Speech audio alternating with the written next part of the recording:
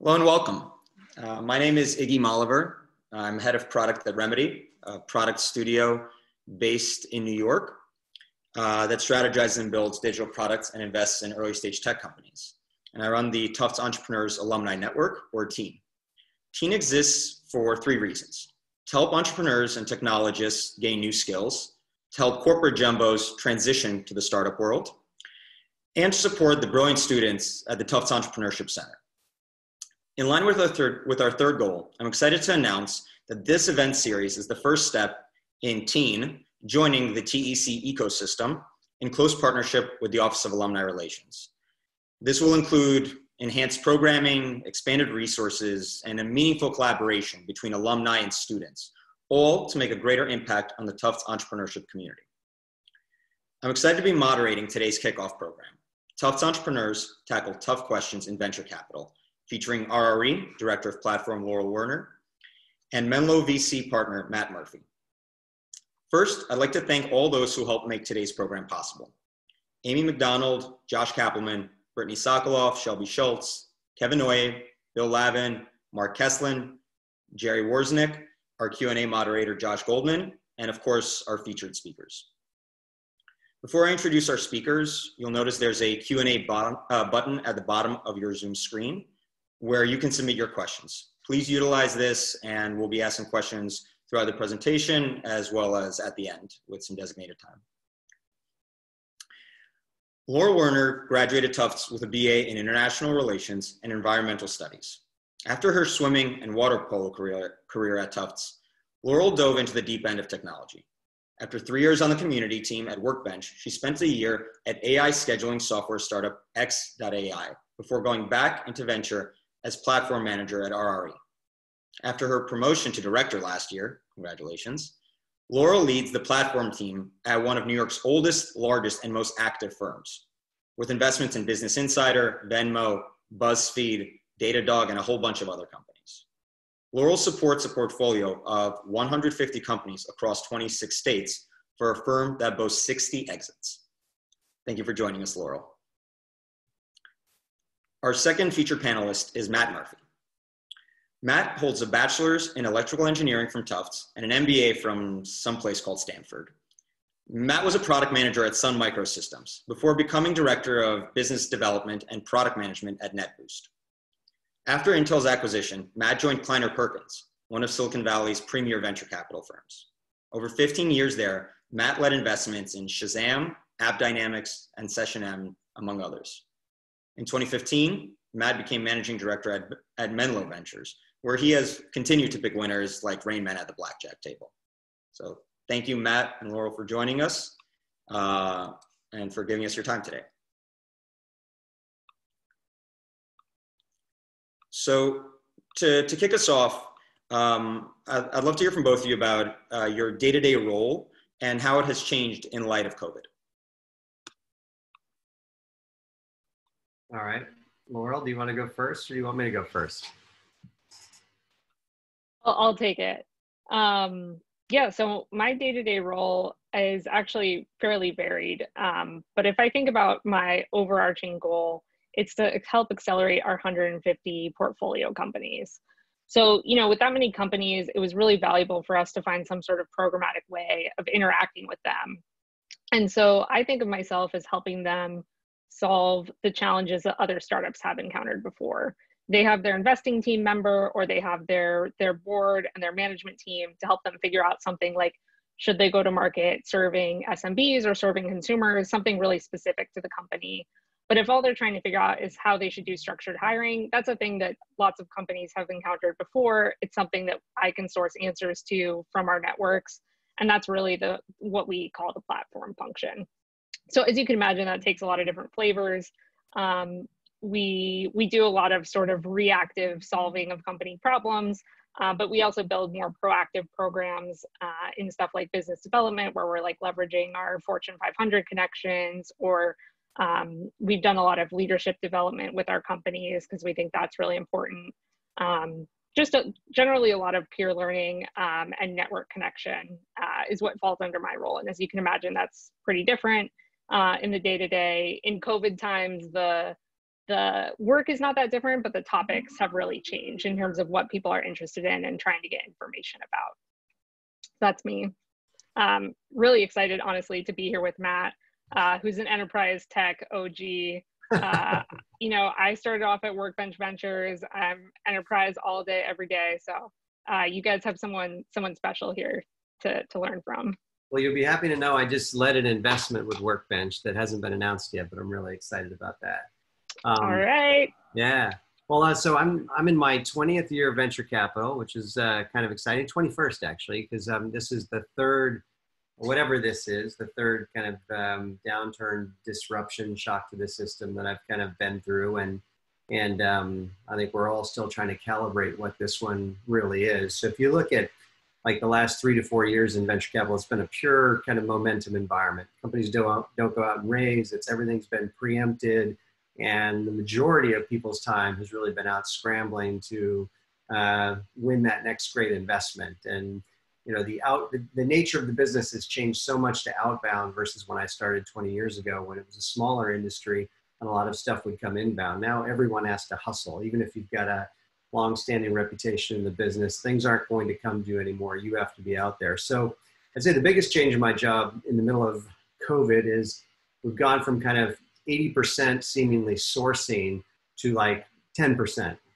So the whole job's kind of inverted. And frankly, it's the way I grew up in the business, so I don't mind it so much. Uh, except that the, let's see, this is week nine of work from home. And the first seven weeks were all about playing defense. And I think the thing that we all love in venture is helping our companies play offense. And Laurel mentioned her kind of platform responsibilities and what they do for portfolio companies. And we have something similar for our firm called Fuel, and it has four pillars. It's a talent partner, uh, a uh, business development partner, a, a, marketing partner, and then network development partner. So we apply a ton of resource to the portfolio and spend all our time trying to figure out how to, uh, you know, the reason why we call it fuel, it's like the fuel that gets them off the ground, gets them on that trajectory faster. So love that part of the job, figuring out the, how to get the next executive or the next big deal that the company um, could win that could really change their trajectory. The last seven weeks was all about um, multiple iterations of reductions, uh, changing the plan, figuring out uh, whether they were going to get some debt they thought they were going to get, maybe putting some new debt in place, maybe a little bit of an equity infusion. So it was all about trying to get companies to last 24 months, or if they were really in trouble, trying to figure out how to get them to last uh, 12 months. So I'd say on average, the companies I work with cut anywhere between 10 to 33%, uh, you know, which is pretty traumatic. I mean, these companies have all spent so much time chasing this amazing talent and then have to let that many of them go that quickly kind of out of the blue has been a big adjustment for everybody. What I would say is um, most companies are through, all companies are through Q1 now, whether you had a 331 or a 430 QN. I think all the companies were putting in plans leading up to that point in time. Those are in place. Whether companies have cut enough or not remains to be seen, but at least there's kind of a new operating plan in place that we're all moving forward on. So now we're kind of getting back to a little bit more normalcy on the play offense with the companies. I would say the sourcing is still dramatically down. I think you know we'll get to this, I'm sure, in some questions down the road. But but it's still really like making sure that you're helping companies. And it's hard right now if you haven't been um, you haven't had a long-standing relationship with an entrepreneur to uh, meet someone like this and uh, end up making an investment. So I think a lot of people are kind of slowly kicking tires, getting to know people again, and building pipeline of new investments for the second half of the year. So I'll pause at that. You both alluded to how you're supporting uh, existing companies, how you're trying to get them to spread out resources further. Uh, which makes a lot of sense. Obviously, there's there's a lot of uh, a lot in flux about the funding environment. Um, Laurel, from your end, from the platform end, what are you doing to support portfolio companies in this difficult time, and, and what areas are you focused on? Yeah, I mean, I think that the like I said, a lot of the same kind of type of work that I normally do, which is find the experts, aggregate resources, and share them back out to our companies, um, especially from within our portfolio. A lot of times there are people who know the answer to whatever question you have already within the RE networks that we can help bridge bridge that gap. Um, the topics are pretty universal, I would say. Um, CARES Act funds, I'm sure none of us want to hear the words PPP after this ever again. Um, resources around mental health um, and like dealing with that for your teams and, um, you know, managing how all of these like cash cash reductions and um, layoffs and stuff like that are affecting your team's you know culture at the moment. Um, stuff on the shift to remote work how to manage through that shift your types of communication um, and yeah just figuring out how to extend runway i think is like like matt said a huge piece of this. Um, the actual like mechanisms for doing that kind of vary. So um, one of the things that we've seen work well is just getting people on a call with an expert um, like a lawyer to ask their questions or you know find getting that lawyer in place for them. Um, there are really lots of different angles that people are taking on this and there's so much stuff to be done um, that there's a lot a lot of different stuff happening i think that the the things that are effective in my mind are like crowdsourcing so i'm also the um, president of the VC platform community, which is like all the people globally who are in this role. Um, and really, there's a lot of just like getting in information sharing about like how much is your landlord reducing your rent? Like, how much can I ask for from my landlord? Um, what price are you getting on that lawyer? Um, do you have any talent that you can, you know, share with those people? Um, so there's a lot of a lot of good work happening for sure. Um, and then the, the actual distribution is sometimes like webinars or you know google docs even uh, there's a lot of hacking stuff together happening right now yeah it sounds like we're doing a lot of the same things i mean i would say that you know we've shifted the the work at the kind of help the companies level from a lot of the offensive stuff to more the things laura was talking about so you know, if you do layoffs, how do you come up with a list that you're sharing with other portfolio companies around people who've been laid off? If somebody else is hiring and kind of directing those. Laura also mentioned PPP, which was this big storm within the industry. Should you take it? Do you qualify? Should you give it back? And so there's just been a lot of communication the portfolios and helping them to make a better decision on things like that, or even best practices in, in laying people off and really trying to connect them. I think the more, you know, this whole platform nature of VCs has really grown up in the last five years where many or most firms have some kind of a platform capability and it, and you know it's kind of it's kind of table stakes but it can also be a real differentiator for a firm if you do it well um, and so i think all of us are trying to figure out how we can bring together portfolio companies add more value beyond just an individual partner an individual talent partner or business development partner in a firm but how can we get all the other companies helping each other. And I think that connectivity right now has been more important than ever is everybody's kind of looking for answers around how are you handling this? How did that work and go? Yeah, and I'm also seeing a lot of good work around not necessarily duplicating what other firms are doing, but working together to kind of crowds um, or like work, uh, you know, find ways to to be doing similar work, whether that's like sharing talent lists or, like you mentioned, just all that kind of stuff that people are concerned about. Um, there's a lot of nice partnerships coming out of this i'm seeing. Yeah. You know i mean other things though um, you know if you if you needed a vp of sales before likely you still need a vp of sales. So all those kind of activities are still going on. Maybe some of them got a little bit delayed as the company was working through its kind of you know revised plan and so forth. But that's what i was saying earlier is i do feel like we've gotten back to this kind of playing more offense on the building out the rest of the executive teams probably more important than now ever. Some decisions that you know you might have just been delaying because times were easier. Everything's harder now so you need to make sure you have the right people uh, in the right seats. I'd say you know one of the things that's gotten really big over the last few years is people have you know ebcs so it's essentially a nice word for a customer meetings. You hold a set of customer meetings. You'll take the cio of p&g and put together a day with your portfolio companies. And those things have been super effective for portfolio companies to get prioritized access to the right people.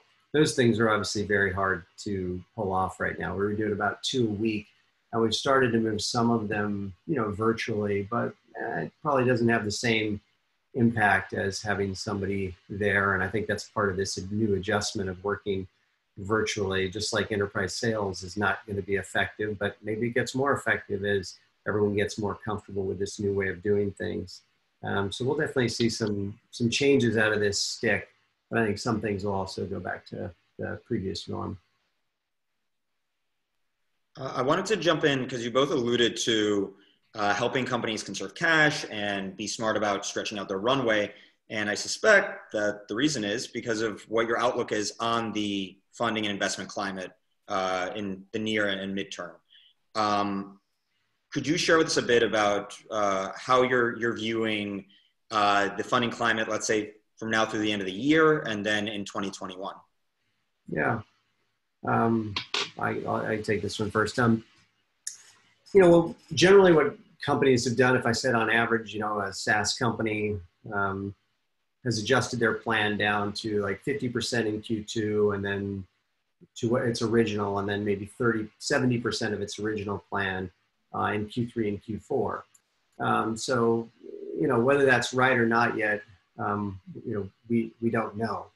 Um, but I think that, um, you know, kind of getting companies to their, to their new normal, uh, and then you have to see what happens. So the, what that has to do with the, the funding climate is nobody wants to go in as a new investor, invest in a company when they don't have confidence in their plan.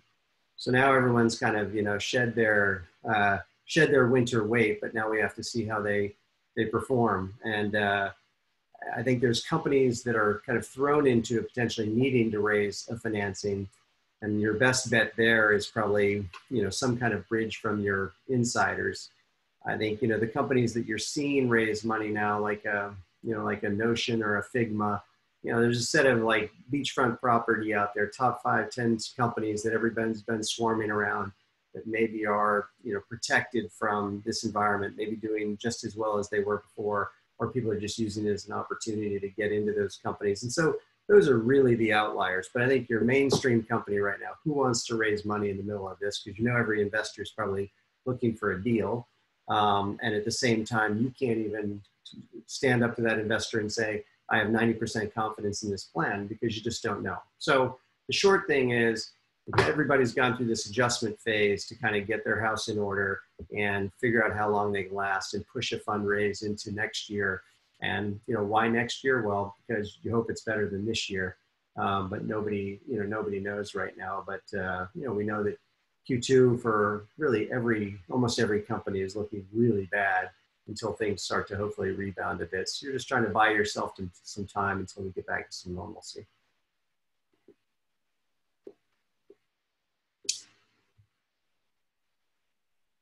Uh, Laurel, do you have any kind of, uh, obviously sitting from the platform side, do you have advice for companies that are already in your portfolio that are thinking about, you know, where they have to stretch things out to and, uh, you know, when folks are coming to you, how they should think about their resource allocation because of that? Yeah, I mean, I think that it's they just it's so specific to the company. It's hard to say like what what overall, but like just cutting your burn however you can is going to make a difference. Um, a lot of people are trying to figure out like um, interesting partnerships that they can do during these times. Um, there's a lot of like like uh, Matt said, just figuring out like what their plan should even look like and how bad these losses are going to be um, and how much they do need to cut.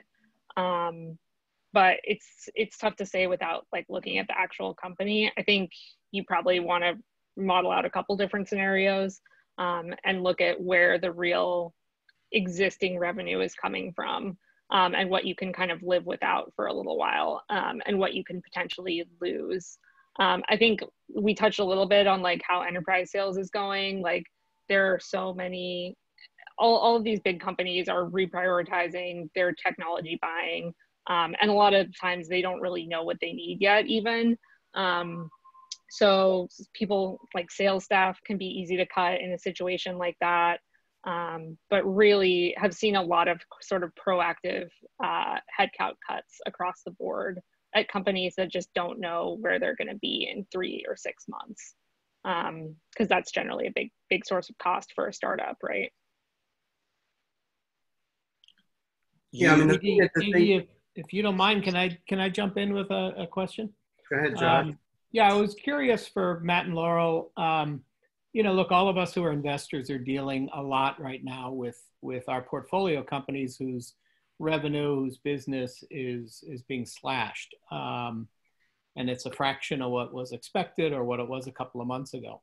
Um, I and I'm sure you guys have a couple of companies who are unexpectedly um, in a very good position or actually benefiting from what's happening right now. I wonder if each of you might be able to discuss one or two that is in your portfolio that is kind of a surprising beneficiary of the new way we're living and working in this in this environment. Yeah, I mean, I think RRE has actually been super fortunate in this regard. And it's not something that I generally like to talk about too publicly because, of course, we have this horrifying pandemic going on. Um, but our portfolio is super diversified across a ton of industries. Um, almost all of our companies have seen either a neutral or positive effect from this. Um, and I think it's kind of interesting because in, in venture capital, you see a lot of firms that have a very specific thesis. Um, you see sort of more generalist firms. Um, and you know this this can sometimes come back to bite you if your entire thesis is you know the future of retail and that's the only thing you're invested in um, you have to kind of see how that shakes out uh, in a year or so. Um, but yeah, a couple of our companies that are doing well. Um, you can imagine Olo, which is an online delivery service, um, has had record breaking growth. One that's actually really interesting, which I wouldn't have expected, is a company called Bark. Um, they sell subscription boxes for dogs, have just launched dog food. They ha- have a whole huge pet line, um, kind of the competitor like Chewy or something like that. And people are spending all this time at home with their dogs. Their numbers have just been astronomical um, for something that you wouldn't really tie into a pandemic, but it's that's something that's uh, really seen some breakout growth. Yeah. We we actually have some other interesting ones too, but I'll save those for the the post webinar. No, Josh, I think one of the things that companies are trying to figure out right now is are they above or below the line? And that line is really like, uh, am I essential or am I nice to have in this environment? And I'm sure every entrepreneur wants to think and believe that they're above that line. And right now, I think everyone's going to figure that out in Q2 because Q1, I think relative to what was going on, was disproportionately good for most companies because they were late enough in the pipeline. They had a big pipeline. CFOs weren't slashing quite as aggressively yet. I think Q2 is going to be the real um, reckoning.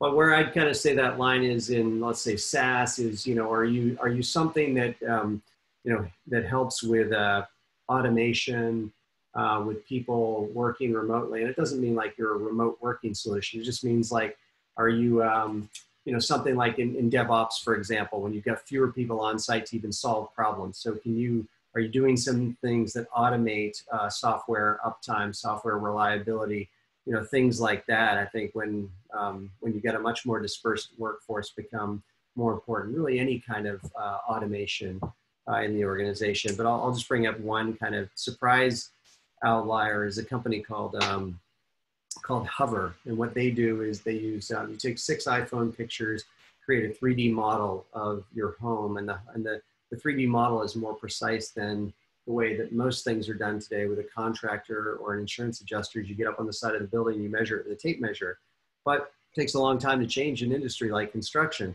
Well, what happens when people don't want somebody coming up to their house and breathing on their windows or you know getting up on ladders? So suddenly, this business that was primarily driven by contractors uh, has now had um, more than half their business uh, move to um, the insurance adjuster industry. And that's something that you kind of look at and say, some things are going to post back to post, you know, uh, post COVID. Like, for example, Rover right now, which is about dog walking, is way down because people are home and they're walking their dogs. They're not kind of outsourcing that. So, you know, they'll, they'll, they'll come back. But things like Hover, when a change happens, when you move a, a workflow from analog, somebody getting up on a ladder with a tape measure to suddenly everyone being trained because of this to stay further from the house, take the 3D, use the 3D model, uh, that changes forever. Why would anybody after that say, ah, I'm going to go back and do the ladder thing? Uh, so I think we're really going to see some acceleration in some, I don't know if they're, they're just uh, a number of workflows that are going to accelerate to digital in a way they wouldn't have um, before. Great. Thank you, guys. Thank, thanks, both of you. I see a related question coming in. This is from Warren Hilton. Uh, Warren's asking, in downturns, many new companies get started. It's early, but are you seeing a similar effect this time around? How is early stage angel and seed space doing? Either of you have thoughts on, you know, are you seeing new companies emerge already to take advantage of this environment we're in right now? I mean, I mean th this is my first down, sorry, downturn of this scale. So Matt's really going to be the expert here.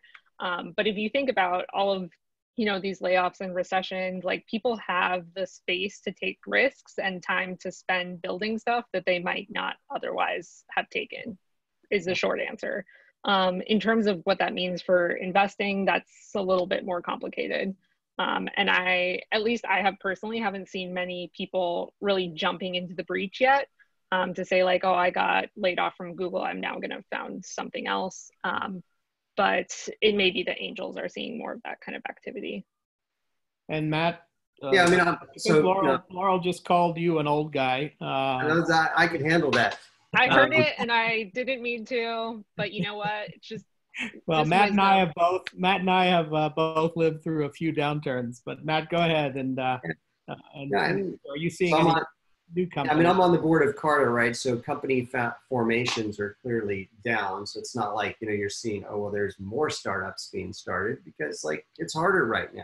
I mean, seed funds have a bunch of uh, companies that they need, that they're now panicked about that need to raise their A. Um, everybody's trying to figure out like, what is the new norm here? So everybody's bar goes up at every stage of, you know, the investment cycle. So what I you don't you certainly don't see it from a volume level, but that's okay. In fact, that's that's that's oftentimes better.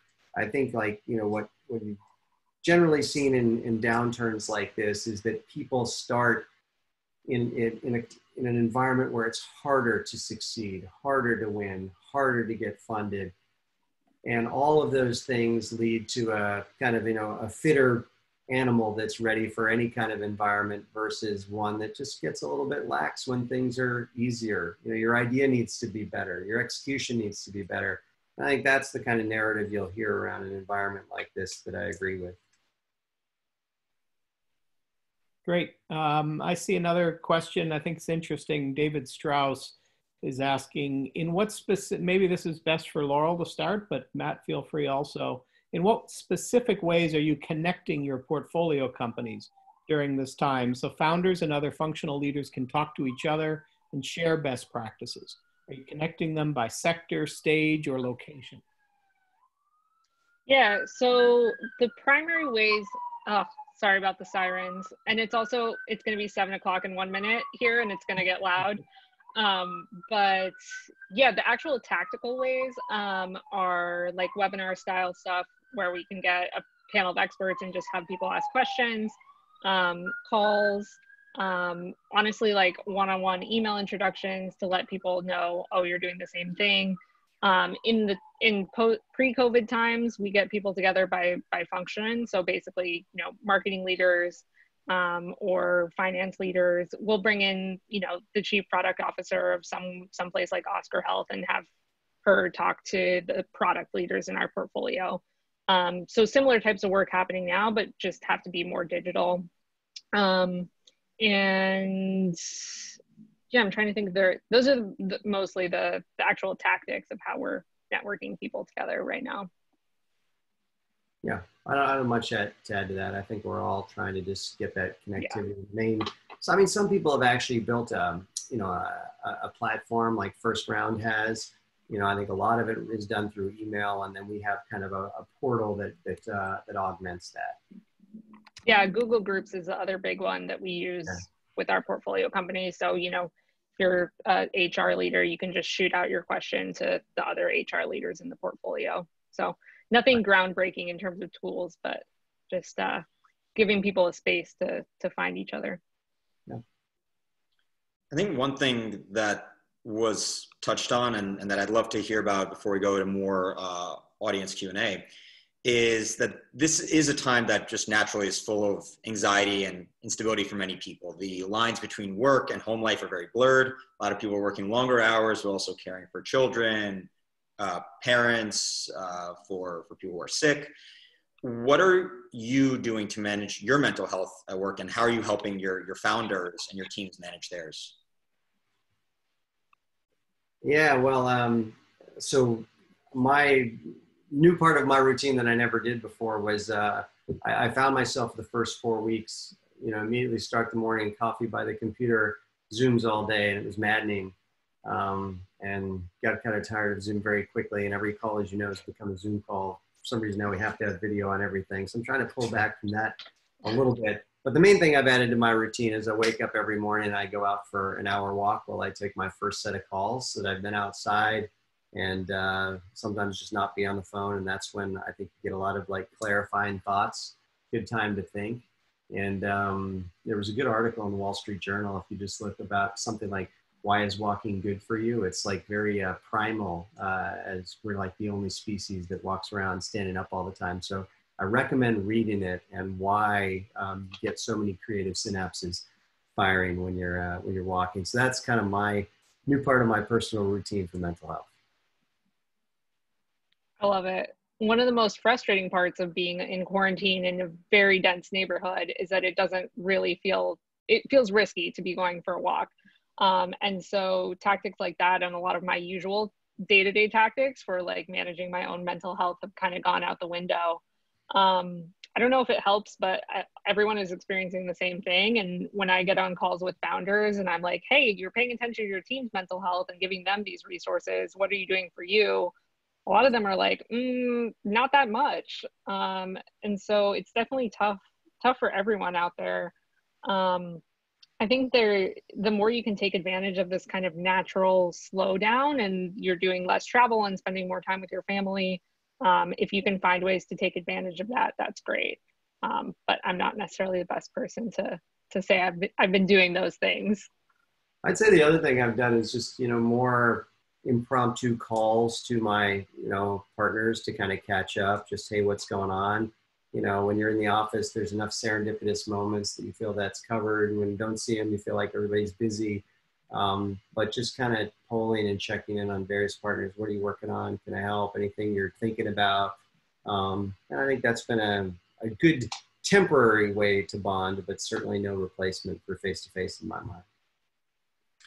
Yeah. So this, i've seen a lot of Oh, I was just going to say one thing. Like, if you, I've seen a lot of companies do interesting stuff depending on what's relevant for them and their team culture. So, you know, some some companies are really thriving here. Um, we have a company called Pattern, which is uh, very invested in helping people enjoy their daily lives, and they live that with their team culture. So they're doing stuff like cooking and painting together as a team, or like putting together a collaborative playlist. Which obviously that's not going to translate for for everyone. Um, but I think stuff like that and maybe designating someone who's kind of in charge of checking up on on your team is really helpful. So Laurel, Matt, you you Laurel, you kind of started with this part, so I'll, I'll maybe continue into this. But uh, are you seeing any kind of really unique ways that companies are bonding and and building uh, a good environment for their for their coworkers, for their employees uh, outside of the usual Zoom happy hour? And this relates to actually a, question that Ricardo Roberts submitted. Uh, how do you reassure your portfolio companies who may not have experienced the downturn prior to this one and who are struggling with it? I so I haven't seen anybody doing anything particularly um, novel. Maybe Laurel has. I'll let her comment on that one. In terms of the company stuff, like you know, I think it's more been that first seven weeks I described. Like, get your house in order. You know, um, we were all trying to grow as fast as possible. And and you know now it's more about like you know you really need to have a pulse on like how ready your market is how efficient uh, your sales org is. Um, and if you do those things you're going to get through it. You know what you what what you don't want to do is run out of money without having proven something significant. I'd say there's a very small percentage of companies like sub 10% in our portfolio where you know they just don't have time. Meaning like there's a six or nine month window of capital. If you've got longer than that, then think about all the things you need to do to to get to the next round, to prove you have a, a strong business. And I think if you can align around those goals and, the, and that North Star, then, uh, then that's motivating.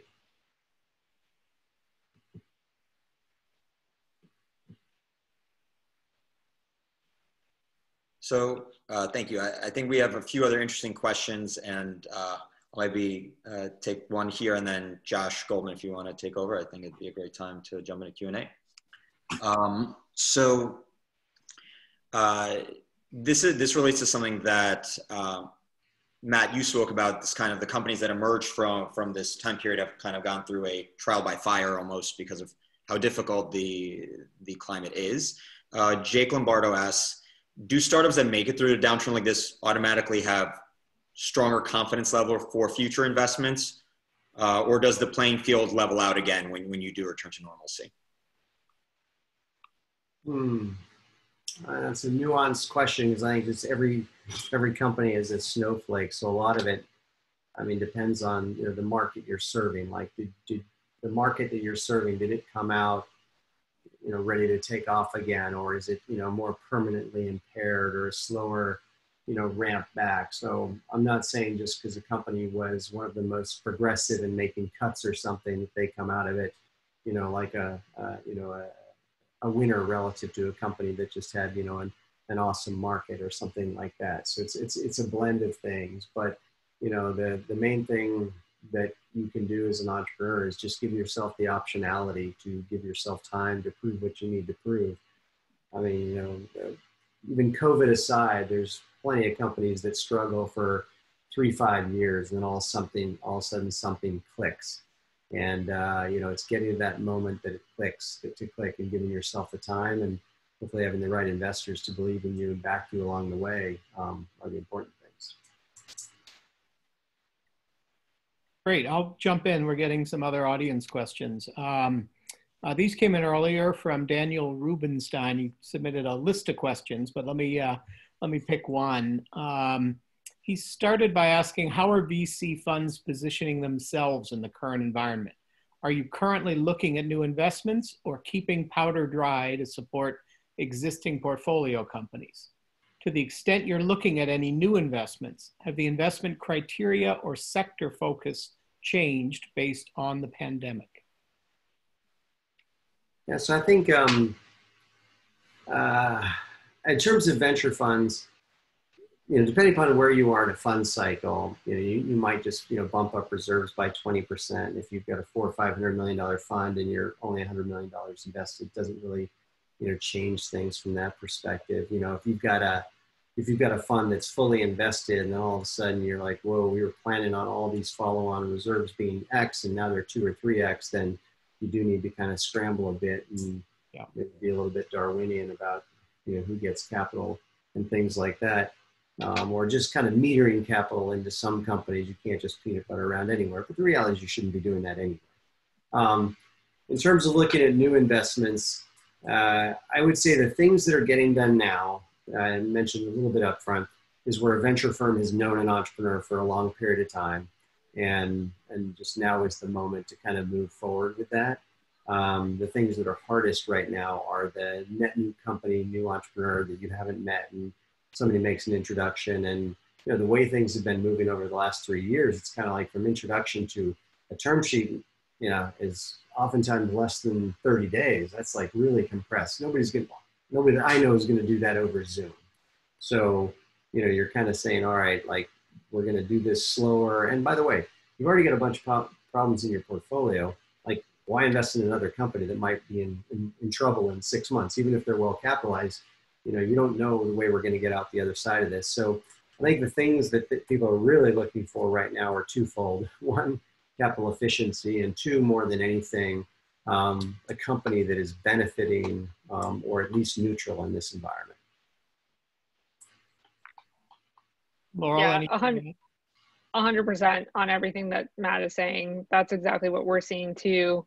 Um, when we talk about all that new inbound, a lot of it is conversations that are picking back up because in this crisis, people are just looking to to raise how they can and where they can um, of people that we've already met. And yeah, like you said, capital efficiency, some sort of line of sight to profitability or at least like multiple years of sustained growth.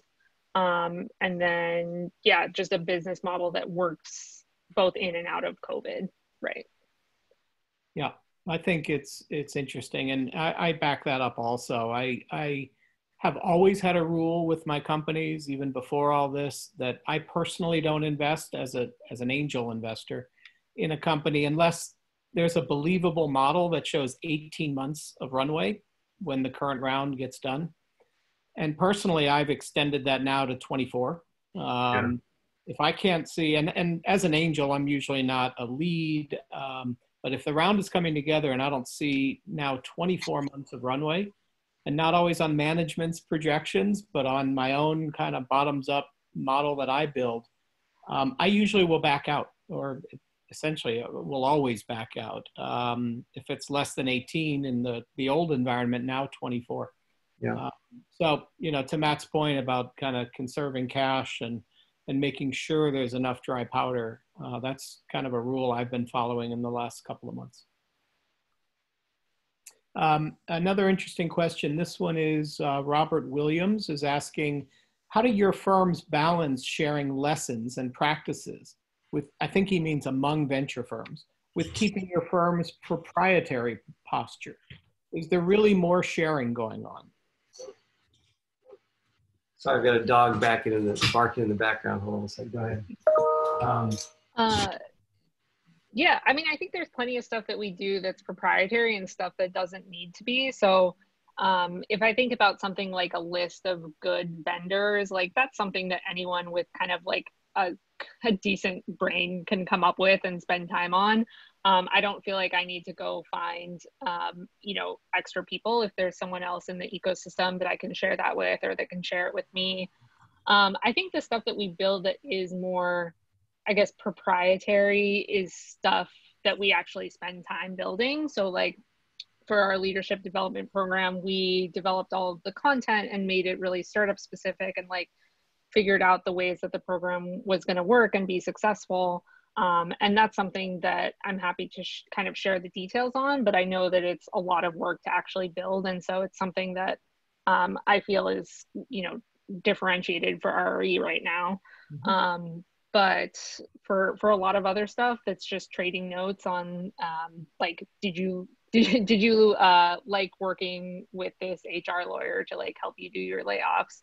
um, is something that I feel like is only going to benefit everyone. Um, and at least in, in New York, I feel like the the platform teams and the venture funds are still in a in a fairly collaborative mindset. I think that's that's changing somewhat, um, but that that tends to be the kind of overall tenor of the city anyway, is to to share knowledge and information. Yeah, you know, one of the things we've been doing that's new, this is more, you know, inside the firm, but it touches somewhat on your point, is, um, you know, we, we kind of have an hour to start off the, the Monday partners meeting now where we kind of go around the horn through each portfolio company. And you generally don't do that. You don't need to talk about every portfolio company every week. But in this environment, things are so fluid. You're like, what, what are they seeing? You know, whether it's how did they handle PPP, their layoff, their their new plan, what, you know, how is the forecast looking, how their quarter end. So we're going around the horn every, every week with the whole portfolio and kind of marching through it um, quickly. And through that, we're sharing a lot of real-time lessons about what people are seeing and, and uh, that can lead to other conversation after the fact around like, you know, well, who should I, let me talk to this partner about this issue because they just went through this and th- things like that. I'd say as part of that, you know, we're also a little bit like everybody's anecdotally talking to their peers in the industry and it's kind of like hey what are you seeing others doing from a new investment standpoint and things like that to make everyone's curious to hear how everyone else is you know behaving so fairly open i would say yeah i you know i was a partner for 12 years at a major venture firm norwest venture partners um, and i think what a lot of entrepreneurs don't realize is that you know, they see kind of VCs competing with each other for new deals. And of course, that happens. But more of our time is, is spent on growing our current portfolio of companies. And in most cases, virtually every case I've ever invested in a company, there are multiple VCs, and you are in the trenches together helping your company. So there's a ton of cooperation. Most of the time is around cooperating with your peers in the industry to help your current companies in which you're both on the board or you, are both invested in the companies. So I think that that isn't always known or, or recognized by new entrepreneurs or people thinking about getting into this, that VCs both cooperate, but actually more often than not are, um, I'm sorry, they compete, but more often than not, they're actually cooperating on helping their companies. For sure. Uh, let me just take a quick look. More com- more questions coming in. Um, uh, here's a good one. Let me go to this one. Alexander Wilkin is asking, how should founders think about building relationships with investors now, even if their time horizon for an investment might be going into 2021? Well, I think what we all like, and even in even in a kind of crazy environment like it's been the last few years, like most people are getting to know companies a year in advance or a year and a half in advance so that they can preempt. So I think the easier part of this environment is getting to know VCs via Zoom and kind of telling them about your business, getting them interested and excited to spend time with you on an ongoing basis. Because it's not like you meet that person once and it's like, oh, you're raising around a year later let me show up, then you probably didn't really build a relationship. But if you're kind of checking in along the way, figuring out how you can help them on various things, uh, you know, that's the way you build a relationship. So I think it's a good point, a good starting point now to start that conversation. And then, you know, check in again with VC in three months, tell them the goals and progress, you know, that you've made, and then continue to do that as you, you know, approach 2021. Great. Um, let me go to Stephanie Marks's question. Everything is online now, and CCPA is still a big issue. I assume this is California Consumer Protection Act. How are your companies preparing for CCPA requirements, which will be immediately enforced starting in July? And are there any companies that we should look out for in this space? Any thoughts on that, Laurel or Matt? CCPA is the equivalent of GDPR, right? That's I, I haven't stayed that close to it. Unfortunately, okay. I don't have any good intel here.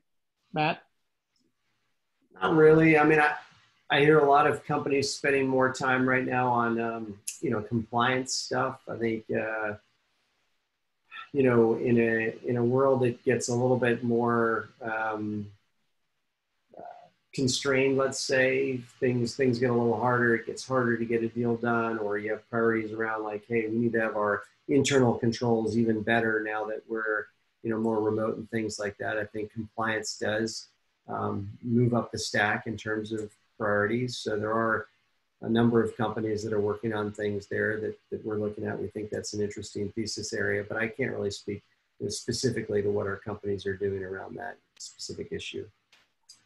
Okay, a question at, from Alan Olson. Sounds like most of current startups are providing services. Have hardware startups cratered?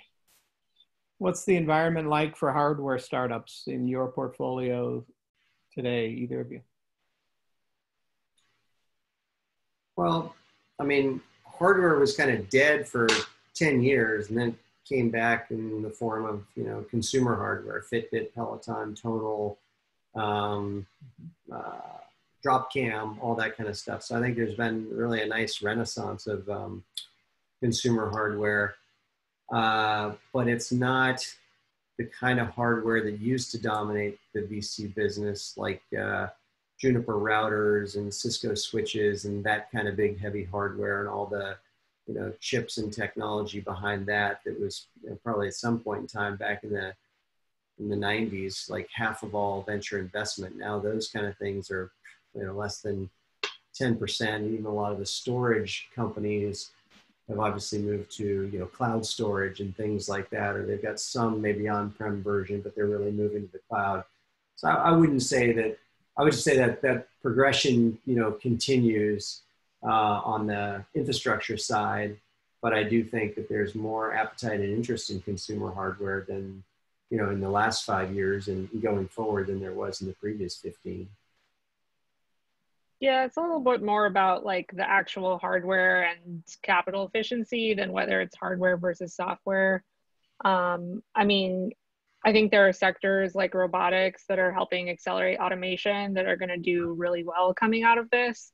Um, but it is true that more moonshotty type of hardware that takes a ton of capital to get to profitability, I think is going to have a harder time raising funding in this environment. Yeah, robotics is a key one. I lost my train of thought on that, but but yeah, robotics is. I mean, we know so many of the jobs that are done today by humans that humans don't Yeah. are going to be Totally. done by by robots. So you know that's still a, an, an interesting area, but capital intensity there is still an issue for a lot of hardware companies.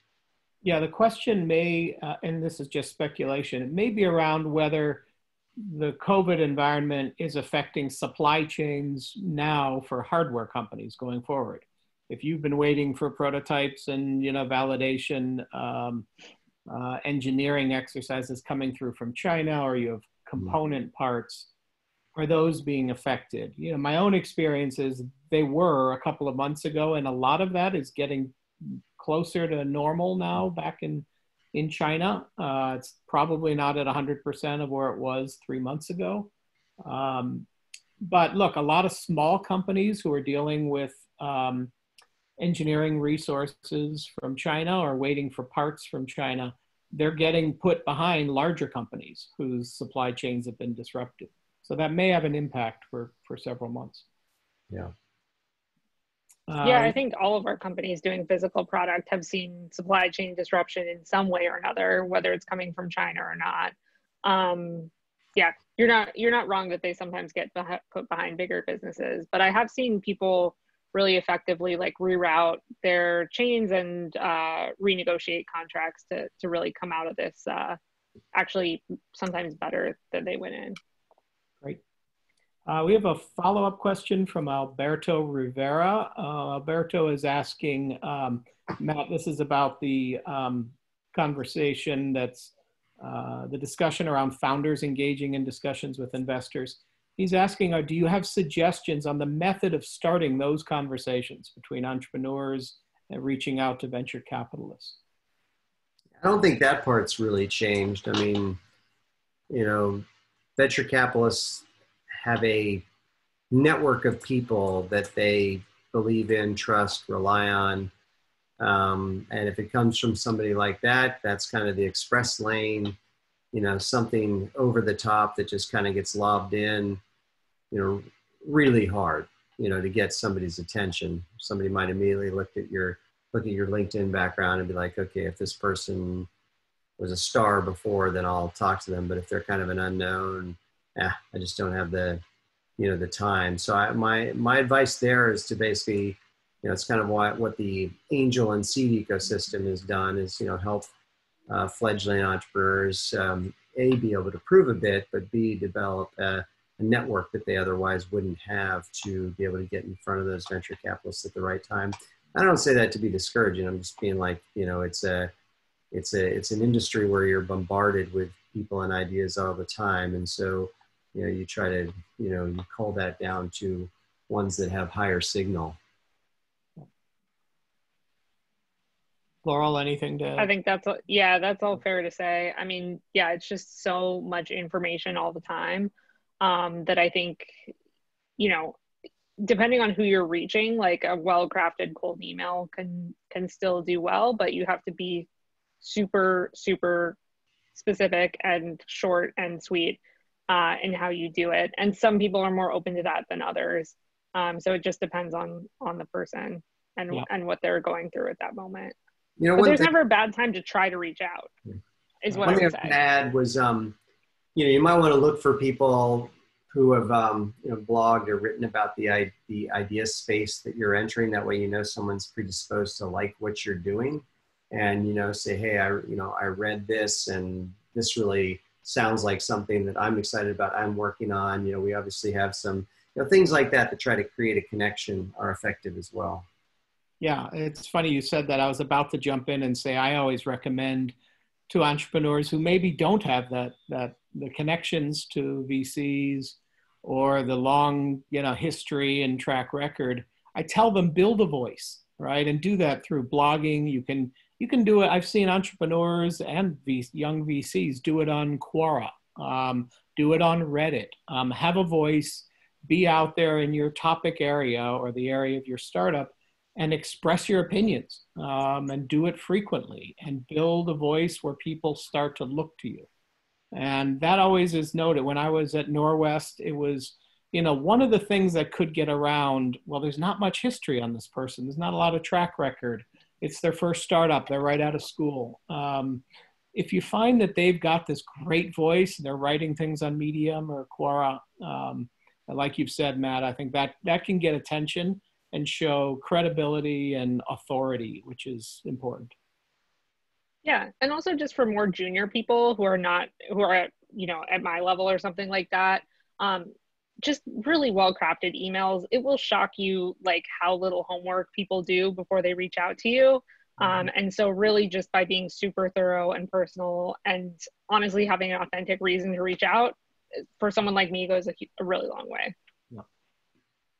Great. Uh, this question is from Ron Fisher. Hi, Ron. Um, Ron's asking, um, what new services, products, or traditions have you seen your portfolio companies take on as a result of this extended quarantine to stay better connected and work more efficiently?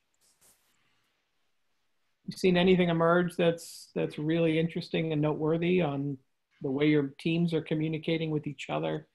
and CEOs to the to the employees?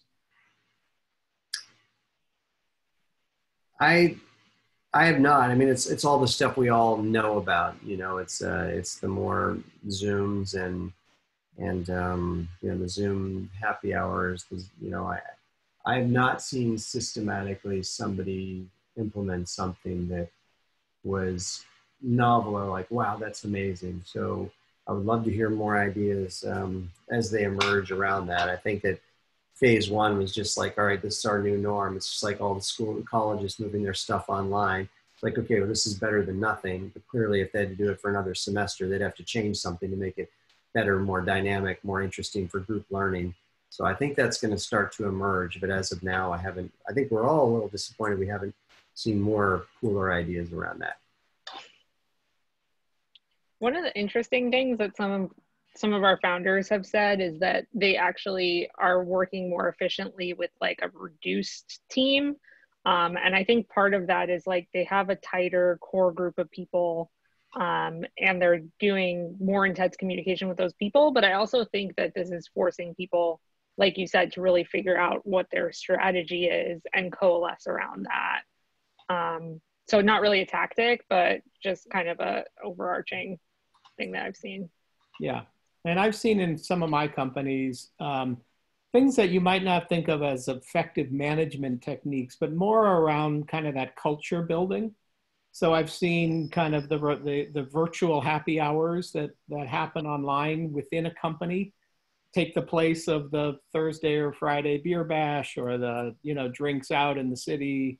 Um, so that is happening. And I think it's, it's proving interesting to, to teams to kind of see each other in your environment, maybe with a baby on your lap or a new puppy, yeah. whatever right. it is that we're all seeing. And that actually can help strengthen, you know, the feeling of connection and we're all in this together. Um, and so I've seen, you know, that kind of thing. And it may be worth pointing out, um, there's a, a, Tufts entrepreneur who's running a, a company, a, an ice cream company, Double Rainbow Ice Cream here in San Francisco super premium ice cream company.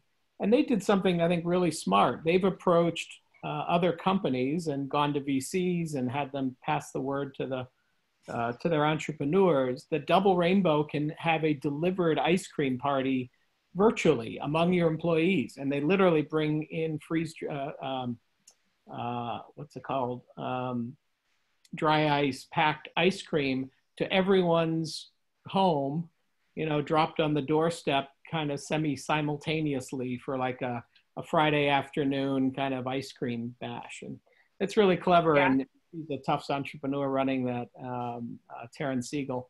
And I really thought it was not just a clever thing to do to, to bring business back for her company, uh, longtime family run business, but also to kind of, you know, help other companies kind of bond around something like ice cream that is thought of as being impossible these days.